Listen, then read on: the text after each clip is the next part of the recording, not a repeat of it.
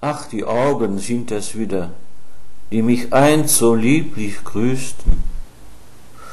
Oder sind die lippen wieder die das leben mir versüßten?